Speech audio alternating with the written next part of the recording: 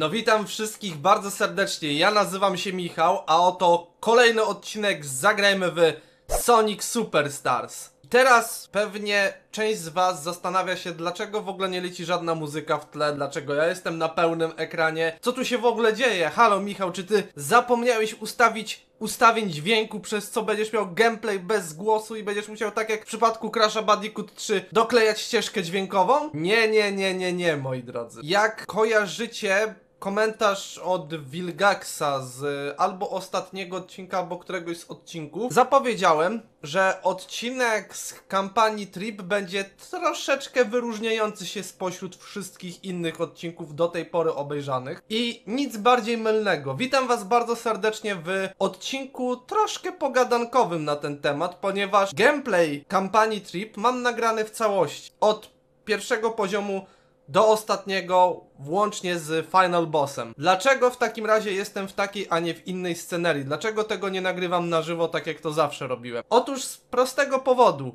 Po pierwsze, pewne moje uprzedzenie do kampanii Trip stało się prawdą, ponieważ no niestety w kampanii Trip musimy ponownie pokonać te same 11 poziomów z malutkimi zmianami, bo wydawało mi się, że kampania Trip będzie miała bardzo dużo zmian w tych poziomach, które już przechodziliśmy w grze. Jednakże nagrywając gameplay zauważyłem, że to były dosłownie pojedyncze zmiany, że gdzieś tam w poziomach było troszeczkę więcej wrogów niż w kampanii Sonika. Zamiast doktora Eggmana walczyliśmy z Ekrobo i zamiast tych minibossów to z nami walczył Feng. Tak więc to są te rzeczy, które tak naprawdę wyróżniają się, jeżeli chodzi o kampanię Trip. No, ewentualnie tam może z dwie, trzy inne cutscenki, ale to pokażę w nieprzyspieszeniu, ponieważ tak, całościowo gameplay, który będziecie widzieć po moim komentarzu, a jako, że nie chcę już się z wami w tym momencie żegnać, to będzie montaż, tak jak za starych czasów niektórych tam moich serii, gdzie to od pierwszego poziomu do któregoś, jeżeli musiałem w danej grze powtarzać poziomy, to po prostu będzie przyspieszony gameplay leciał w, z jakimiś tam muzyczkami z Sonika w tle. Jeszcze nie wiem, co ja tam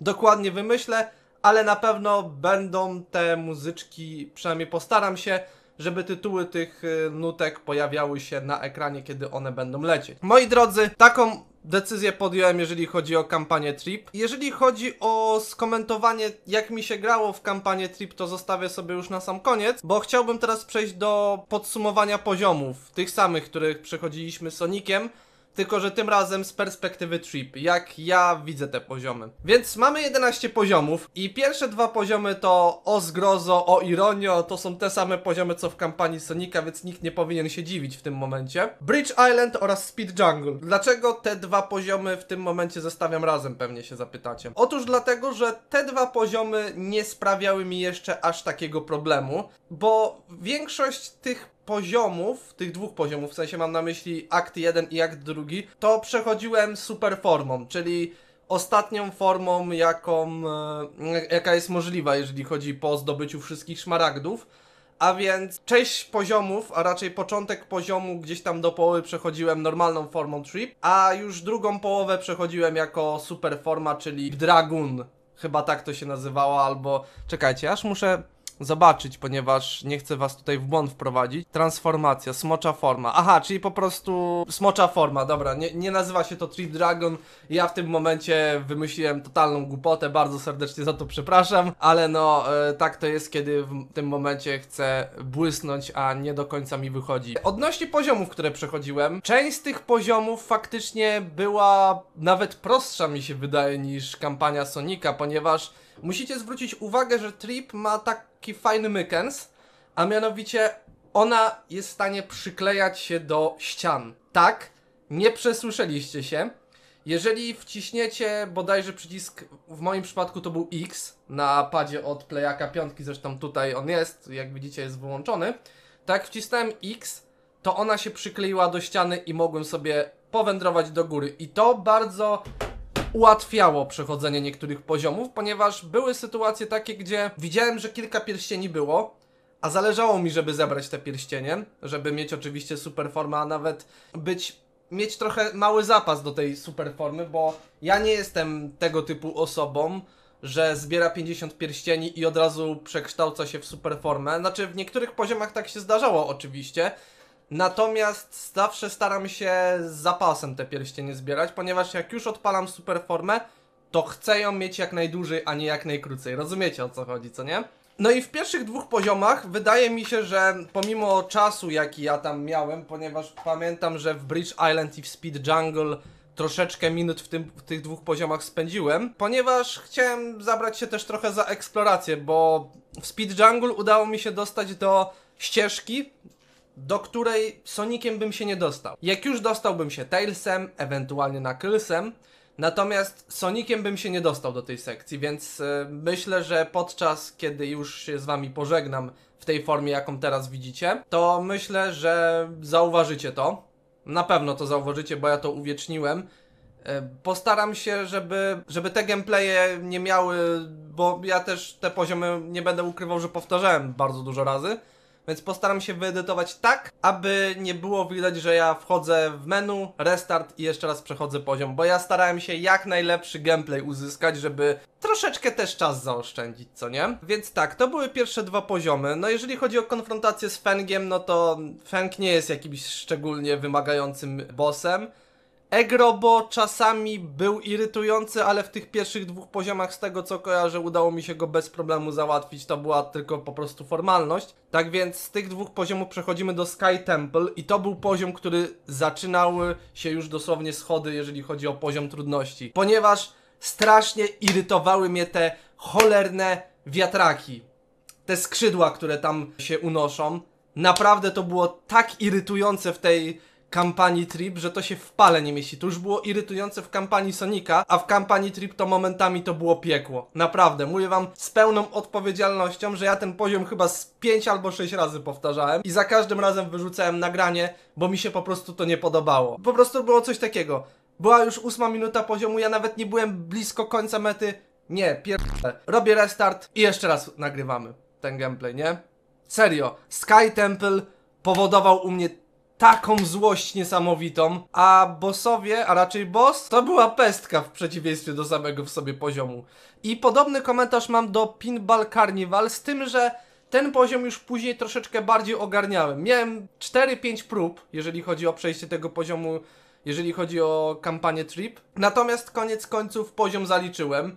Niestety nie udało mi się przejść i pokazać wam wszystkich aktów owocowych, ale stwierdziłem, że po co mam drugi raz to samo pokazywać. Jakby to się nie wyróżnia jakoś super od tego, co mieliśmy w kampanii Sonika, więc po co drugi raz to samo pokazywać? Wystarczy, że już drugi raz widzicie te same poziomy, które przechodziliśmy. Tak więc aktów owocowych niestety nie uświadczycie, bo z tych wszystkich aktów owocowych to tylko dwa udało mi się przejść. Tak więc, no, Idziemy w dobrą stronę. Hej, hej, hej, przepraszam, że wam przeszkadzam w oglądaniu tak wyjątkowego odcinka, ale mam mały komunikat. Bardzo byłbym zadowolony, jakbyście zasubskrybowali kanał, klikając dzwoneczek, by otrzymywać powiadomienia o filmach tutaj publikowanych, ponieważ tak wygląda obecna statystyka kanału. Fajnie byłoby, gdyby było was subskrybujących o wiele, wiele więcej. Mam nadzieję, że mi pomożecie wspólnymi siłami wyjść z tej stagnacji, jaką jest 3641 subskrypcji. Może przy dobrych wiatrach, jakbyśmy się wszyscy zebrali, udałoby nam się do końca tego roku wbić 4000 subskrypcji, byłoby mi niezmiernie miło. A teraz wracamy do oglądania. Jeżeli chodzi o nagrywanie Sonika, naprawdę idziemy w super stronę, na super, super, duper formę. Lagoon City, poziom numer 5 z 11. Ten poziom też troszeczkę mi sprawiał trudności. Ja chyba go za trzecim razem ogarnąłem. W głównej mierze, co mnie najczęściej ograniczało w Lagoon City, to to, że nie podobało mi się to, że gdzieś tam byłem głęboko pod wodą, w pewnym momencie mnie jakiś wróg atakował. I jak ja miałem na przykład 150 czy 140 ileś pierścieni, to strasznie mnie irytowało to, że w sytuacji, kiedy już byłem bardzo blisko sprężynki odbijającej się do góry, to nagle mnie ktoś atakował i wtedy poprzysiągłem sobie, że nie, nie ma takiej opcji. Restartujemy poziom. I ja nie mogę takiej hańby pokazać, bo później ludzie będą mnie wytykać palcami. Naprawdę. Będą mnie wszyscy wytykać palcami, że o Boże, ja ten poziom jestem w stanie bez stracenia pierścienia przejść, a ty kurde, w taki głupi sposób tracisz pierścienie, człowieku, co się z tobą dzieje, nie? Więc dlatego wtedy poprzysiągłem sobie, że Lagoon City zrobię w ten sposób, że dopóki nie będzie to trochę taki perfect run, ale to taki trochę, bo jednak tam gdzieś pierścienie traciłem, to jednak dopóki nie będzie to w miarę sensownie wyglądać, ja tego nie pokażę, nie ma takiej opcji. Sound Sanctuary nie pamiętam, jak szczerze sobie poradziłem z tym poziomem. Wydaje mi się, że nie sprawiał on aż takiego problemu jak w kampanii Sonika. Wydaje mi się, że ten poziom troszeczkę lepiej mi poszedł. Ale tutaj niestety pewności nie mam. Wydaje mi się, że chyba tylko raz powtarzałem ten poziom, bo chciałem koniecznie dostać się do sekcji wyżej, żeby jak najwięcej pierścieni zebrać, tak jak w każdym innym poziomie, tylko że no chciałem po prostu, wiecie, przyszpanować, że haha, patrzcie, potrafię grać. Rzeczywistość niestety mnie często weryfikuje w moim cwaniactwie, tak więc... e, No, przekonałem się na własnej skórze, że nie warto cwaniakować. To nie jest jedyny Sonic, który mi to udowodnił. Taka ciekawostka. Press Factory Zone to był poziom, który też mi trochę czasu zajął. Też w pewnym momencie miałem takie podejście, że kurde nie, rezygnuję, muszę sobie to zostawić na kiedy indziej. Po czym poszedłem na spacer z psem, przewietrzyłem trochę głowę i mówię nie, będę tak długo przechodził, aż w końcu przejdę. No i się udało. Za chyba szóstym razem udało mi się ten poziom przejść, a naprawdę cierpiałem niebywale. Uwierzcie mi, cierpienie to to chyba najczęściej było powtarzane słowo przeze mnie w trakcie, kiedy za monitorem y, komentowałem to na głos, mimo że wy tego nie zobaczycie, bo tak jak mówię, komentarz, gdybym nagrywał to w ten sam, sposób odcinkowo co historia Sonika, to byście mieli ten sam, może nawet i identyczny komentarz, co było w kampanii Sonika. Golden Capital. I tu już dochodzimy do topki poziomów, które zacząłem momentami nienawidzić. I Golden Capital jest tego idealnym przykładem. Jezus Maria, ten poziom to była po prostu istna paranoja. Ja myślałem, że w pewnym momencie tego pada, tego tutaj pada wyrzucę przez okno, przez to świeżo umyte okno przed nagrywaniem odcinka, bo tak stwierdziłem, że jako, że nagrywam to za drugim razem i komentowanie na tę chwilę wychodzi mi bardzo dobrze i mam nadzieję, że się tego będziemy trzymać, to ten pad przez chwilę by powędrował tam za to okno. Nie żartuję. Momentami mnie ten poziom doprowadzał do szału. Doprowadzał mnie do szału takiego, że to się nie, jest, nie jestem w stanie tego opisać słowami. To się po prostu w głowie nie mieści. Pierwszy akt chyba mi najdłużej zajął, bo ja z tego co kojarzę, chyba 11 albo 12 minut spędziłem w akcie numer 1. Nie mam pewności. Nie wiem, czy to była ta nieudana próba, czy ta udana próba. W każdym razie ten poziom to było istne piekło. Nie żartuję, to było istne piekło. Ja nie wiem, jakie tutaj. Dlaczego ten poziom był taki trudny? On się wydawał prostszy w historii Sonika. Ale to nie wiem, może mi się tylko tak wydaje, że on był prostszy. Może faktycznie ja też, jak kiedy nagrywałem historię Sonika, to co drugie słowo leciały bluzgi. Natomiast no tutaj to chyba ranga bluzgów to przewyższyła chyba sufit. Sufit w moim pokoju. Czajcie to? A naprawdę, poziom skopał mi zadek. Cyber Station nie skopał mi co prawda zadka, ale boss w Cyber Station. O mój Boże. O! Ja już po prostu mam flashbacki z nocy, kiedy to nagrywałem. A nagrywałem to z jakieś 3 dni temu albo 4. W chwili, kiedy to nagrywamy z 19 sierpnia, wy to chyba będziecie widzieć jutro albo pojutrze, 21. Postaram się, żebyście 21 to widzieli. Ale mam flashbacki z tego, jak w pewnym momencie po prostu psycha siadała, nie? Bo o ile poziom nie był aż taki skomplikowany poza sekwencją z tymi naelektryzowanymi linkami, gdzie to musiałem bawić się trochę w Pacmana i uciekać przed przeciwnikami, tak no boss tutaj to jest jakiś kurde nieśmieszny żart. Naprawdę to był nieśmieszny żart. Frozen Base nie był taki trudny. Wydawało mi się, że pierwszy akt był trudnym, ale to też ze względu na to, że ja próbowałem ten perfect run osiągnąć, czyli jak najwięcej pierścieni, jak najlepiej przejść, pokonaj bossa, e, a raczej mini bossa super formą. I tak też się stało, bo mi się udało pokonać mini bossa super formą, co będziecie widzieć na nagraniu. Musiałem tutaj cięcie zrobić, ponieważ e, niestety mi się odbiło, a ja nie chcę mieć nieprofesjonalizmu w filmach. Akt drugi wydaje mi się, że poszedł dosyć sprawnie. Akt trzeci to była konfrontacja z bossem. Szczerze powiedziawszy, boss nie był aż taki trudny. Wydawało mi się, że więcej czasu mi zajmie w Frozen Base Zone, bo pamiętam, że ten boss był w kosmosie, bo później z Frozen Base przechodzimy do ostatniego poziomu, jakim jest Egg Fort...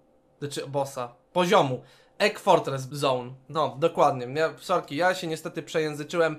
tak często mam, kiedy długo nie nagrywam, kiedy długo nie patrzę w obiektyw, to czasami mi się język plącze. Jeżeli chodzi o Egg Fortress, tak jak w kampanii Sonika, tak w kampanii Trip, poziom po prostu o Boże święty. Nie wiem, co tu było trudniejsze. Czy ostatni boss, czy sam w sobie poziom. Bo wiecie, ja bardzo lubię Sonic Superstars. Naprawdę jest to gierka, która względem opinii, jaka dostała ta gierka przez większość fanów, to ja wbrew pozorom bardzo lubię tę gierkę. Gierkę, dobrze powiedziałem. Nie gierkę, tylko gierkę. Mogłem się przejęzyczyć, wybaczcie, za to czasami tak mam. Natomiast Egg Fortress Zone jako poziom, czy to kampania Sonika, czy to kampania Trip, poziom, ekstremalny poziom trudności osiągnął. Ale to też dobrze, ponieważ jest to ostatni poziom, więc nie powinno być za łatwo, ale też nie powinno być za trudno. A ten poziom to momentami miałem wrażenie, że miał piekielny poziom trudności. Naprawdę, serio, powiem wam szczerze, że miałem wrażenie takie, przechodząc kampanię Trip, że ten poziom miał piekielny poziom trudności.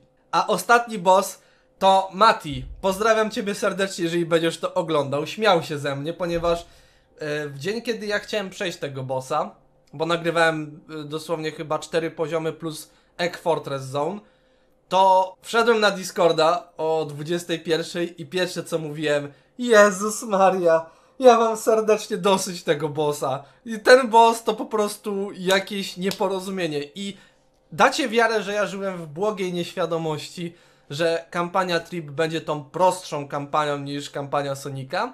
A tu się okazuje, że moje dziecięce marzenia legły w gruzach w sytuacji, kiedy Mati mi powiedział, że kampania Trip to jest coś ala kampania Knucklesa Sonika 3 i Knuckles. Czyli po prostu trudniejsze, to taki hard mode w sumie. Ale takie super! Co prawda, mo mogła mi się lampka ostrzegawcza zapalić w momencie, kiedy widziałem przeciwników, taką sporą część przeciwników w poziomach, które wcześniej zwiedzałem jako Sonic. Natomiast w ogóle kompletnie nic nie dotarło do mnie, że coś jest nie tak, że to może być hard mode. Wydawało mi się, że nie, to będzie bułka z masłem. Patrząc, jakie Trip ma umiejętności, to serio. Mówiąc o umiejętnościach, bo nie wiem, czy ja o tym wspomniałem, Trip ma naprawdę super umiejętności. To, co wcześniej wam wspomniałem odnośnie przyklejania się do ścian, the besta. To jest naprawdę coś, za co muszę tutaj pochwalić tę postać. I jej super forma, ta smoczysta wersja Trip, że ona przemianuje się w smoka jako super forma, to po prostu to jest wydaje mi się, że nawet lepsze niż Super Sonic. Udało mi się pokonać tego bossa. Musiałem się z tym przespać, za chyba trzecim razem udało mi się go pokonać, Fenga. Otrzymałem zakończenie, które odblokowało mi Last Story. I jeżeli ktoś z Was myśli, że Last Story zostanie poprowadzone w ten sam sposób jak ten odcinek, to się grubo myli. Ale żeby Was nie zostawić samych, nie zostawić Was z tym gameplayem i z montażem, który tam przyszykowałem, to mam małe ciekawostki odnośnie, a raczej jedną ciekawostkę odnośnie Trip. I jest ona zaczerpnięta z sonicfandom.com, bo starałem się do tego odcinka znaleźć jakieś ciekawostki. Okazuje się, że Trip ma tylko jedną ciekawostkę, a odnośnie jej imienia. Wiecie co oznacza imię Trip? Potknięcie. I to nawiązuje do tego, że ona w tych cutscenkach za każdym razem się potykała, że jest taka niezdarna. Rozumiecie o co chodzi? To jest jedyna ciekawostka o tej postaci. Szczerze zawiodłem się. Wydawało mi się, że jako, że to jest nowa postać, to będzie troszeczkę lepiej przedstawiona. Że będzie więcej ciekawostek. A tu jednak mało. Nawet poziomy, które przechodziłem jako trip, nie mają e, ciekawostek. Tylko jak już to są tam ciekawostki w kampanii Sonika, jakieś takie minimalne ciekawostki, jakieś takie do, dosłownie drobnostki, co nie? Spotkałem się z opinią fanów, że narzekali bardzo na tę postać, że je, nie jest to dobra postać, że generalnie to w ogóle postać do wywalenia, historia w ogóle totalnie do dupy, hard mode nie z tej ziemi i tak dalej. Ja pomimo tego narzekania, pomimo tego naparzania i momentami myśli, że pad powędruje przez okno, to nie bawiłem się źle. Może ja po prostu jestem masochistą i lubię cierpieć w grach, że sprawia mi satysfakcja mam satysfakcję z tego, ze sprawiającego mi bólu, kiedy zaczynam się denerwować i mam ochotę albo grę odinstalować, albo pada wyrzucić przez okno. Ale to może ja jestem dziwny, no w końcu przez 10 lat nagrywam gry, więc musiałem się jakoś uodpornić. Jakbyście słyszeli śmieciarkę, to sorry, bo mam otwarte okno, bo chcę, żeby się wywietrzyło po tym czyszczeniu okna. Dobrze, to ja w tym momencie już się zamykam. Ja stąd wychodzę, kończę już swój monolog. Zapraszam Was do oglądania gameplayu przyspieszonego z jakimiś tam nutkami z Sonika, jak wyglądała historia Trip. Na samym końcu po montażu, jeżeli będą, bo teraz już tak z głowy bardziej mówię, jeżeli będą jakieś ekskluzywne cutscenki, to zostawię je na sam koniec. Może nawet zrobię w opisie znaczniki, żebyście mogli zobaczyć, kiedy był ten gameplay z muzyczkami, a kiedy były te cutscenki, a kiedy było moje gadanie. Życzę Wam miłego seansu. Ja w tym momencie się żegnam, wyłączam nagrywanie, przerzucam zaraz nagranie na kompa i widzimy się możliwe, że jeszcze w tym tygodniu, bo warto byłoby wrócić, bo przez dwa tygodnie nic nie wrzucałem. Ostatni film to był Mirror's Edge, finałowy odcinek, więc warto wrócić, bo zostały mi jeszcze chyba 3 albo 4 let's play do samego końca, więc jedziemy z koksem. Nie ma spania, trzeba jechać z koksem. Dziękuję za oglądanie, znaczy za bardziej wysłuchanie. Zapraszam do oglądania montażu z kampanii Trip. Elo!